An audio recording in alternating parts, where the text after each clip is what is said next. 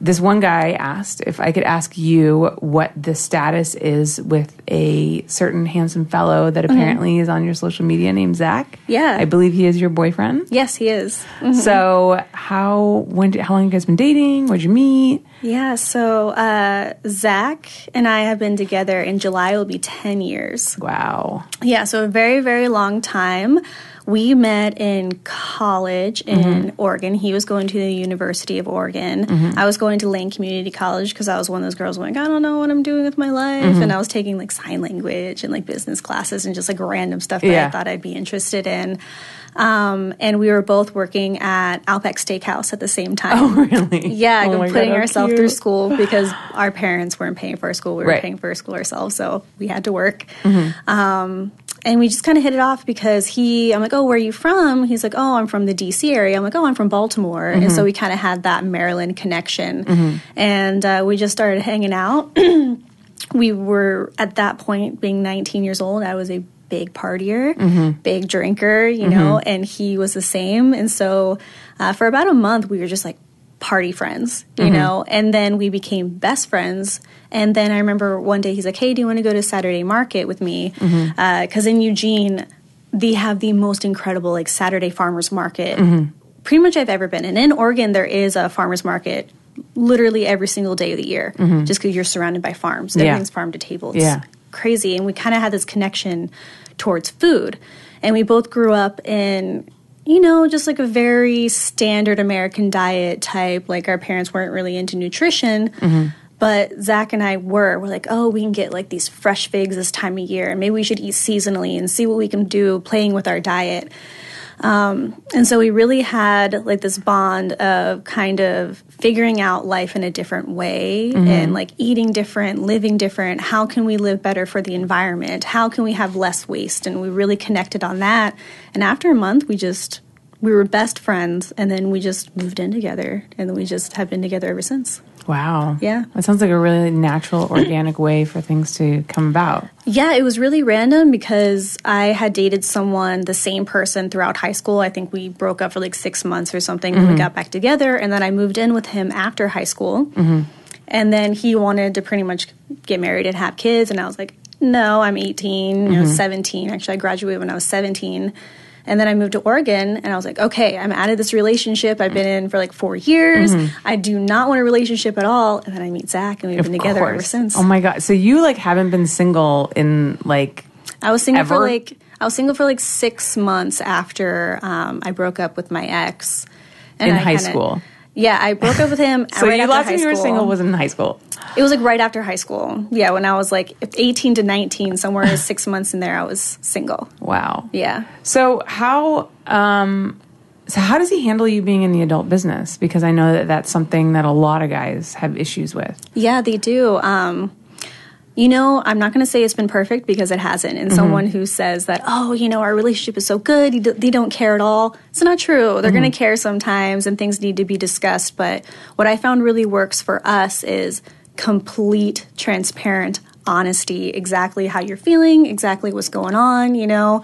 Um, but I remember before I got in the industry, I was a webcam model. And he's like, this is great. He's like, you don't have to work as hard because working in a restaurant is hard work. You Oh, know, yeah. you're there for eight, 12 hours and you're on your feet the whole time. People are yelling at you. They want to know where their food is. You're carrying is. 40, 40 pound trays Yeah. on your shoulder Yeah. and you're just running around. And it's a very physically demanding job for, I mean, it's okay money, but I Mm-hmm. mean, I remember if I get 100 bucks in tips, I'd be like, oh my God, I did really, really good Mm-hmm. today. I'm so excited. Which now I'm like, oh my gosh, I was working so hard for Yeah. such little money. Yeah. I think I was making like five, five fifteen an hour, you know? Wow. And so you get a paycheck every two weeks for like 120 bucks or Oh something. God. Mm-hmm. So you literally worked for tips. Um, now I lost my train of thought where I was even going with that. But You were Yeah. working too hard as a waitress. oh yeah, working so towards a you were doing cam modeling. doing cam modeling, um, and he's like, "This is really great." He's like, "You can work literally for two to four hours and make the same amount of money that, or more money." Mm-hmm. And we were living in Oregon. I had a two bedroom apartment, like really pretty nice apartment backyard. I think we were paying five ninety nine or six ninety nine a month for this place, wow. and we had a roommate. So us, we were splitting like three or four hundred bucks a month in rent, Mm-hmm. and so one day in webcam, I was making you know, rent. And Yeah. like two days in webcam, I was making all of our bills. And then um, Digital Desire reached out to me and like, oh, we want you to come to LA to do like solo stuff. And I was like, you know, I'm thinking about trying this out. He's like, well, you know, just go see if you like it, as long as you're safe. You know, mm-hmm. like make sure everything's legit. That's kind of how he was. Is like make sure everything is legit. You never get put in a bad situation. Your hotel's paid for. He's like, make sure you just know all the information. And that was just solos, right? Yeah, it yeah, Cause solo. digital. Yeah, they just did solos and girl girl. I think they did a little bit of girl girl, and I think they do now, but they do mostly solo and like Yeah. pretty pictures, and then they mm-hmm. usually like sell them to Hustler or whatever, mm-hmm. and Yep. do all of that. Um, so I did that, and I was like, you know, I really like this. Maybe I'll just go down and just do girl girl and just see if I like it. And he's like, that's great, and he had no problem with that at all. He's like, you want to go on camera and have sex with beautiful women? He's like, I'm into it. He's Yeah. like, that's awesome, and if you can make a living doing it, great. Also, we were in Oregon. We loved Oregon. Oregon's probably my favorite state in the United States, but it rains nine months out of the year. Mm-hmm. It's just gets really hard after a while. Where Yeah. it literally does not stop raining. It's just straight rain for nine months, and you don't see the sun at all. Right. So we love the people, we love the city, we love the agriculture, but we're like, let's go to LA just to see if we like it for a while. It's sunny all the time, so Mm-hmm. that'll be great. So we came down here, and I had my girl girl career for about like three years, Mm-hmm. and so for those three years, everything was good, great. He got a um, a managing position at like a health juice bar slash um, they also do like iv therapies and things Okay. like that like a like a wellness place which he went to school for like nutrition and gosh i'm trying to think of like what his official title was um, like a health coach pretty much but like a naturopathic Yeah, yeah, type like a homeopathic. yeah exactly that and that's what okay. he has his um, like degree in Right. and so he was doing kind of what he wanted, and I was doing the girl girl thing. But we were still in this place where I've always had this vision, like how our life was going to be, mm-hmm. you know, and like we were doing well, but I wanted it to be bigger. Mm-hmm. Like I always wanted like a very not big life, but I've always wanted a very adventurous life. So mm-hmm. I'm like, where can what can we do to kind of put ourselves in a situation where we can travel whenever we want to and we can go um, see other cultures and do other things and really just i want this big life. And so digital playground um, approached me and they wanted me to do my first boy girl for them. And it was definitely like a long discussion. I was like well you know it is kind of weird when you're in um, kind of just a normal relationship, you know, and then all of a sudden you're like, oh, I'm going to have sex with other guys, Yeah. you know, and for a Yeah. lot of, um, I don't want to say like civilians, but that's civilian people, it's like, oh, that's kind of crazy, Yeah. you know. Um, but he always said, he's like, you know what, if this is what you want to do, um, I support you. It might be hard, but um, as long as you're happy, I support you.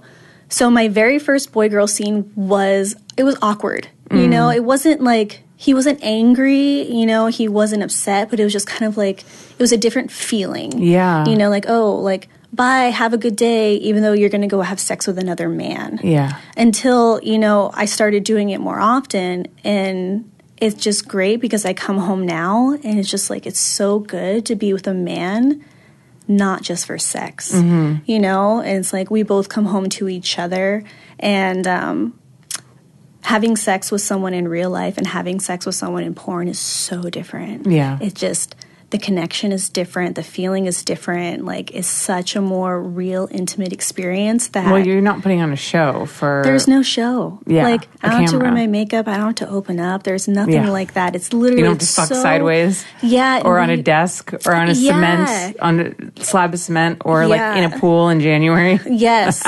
and um, our bond is so powerful. Like. I love him so much. I feel like I tell them this. I'm like, I want to slice you open so I can live inside of your body. Like that's how much I love you. Wow, you know, like that's it's so uh, like that is romantic.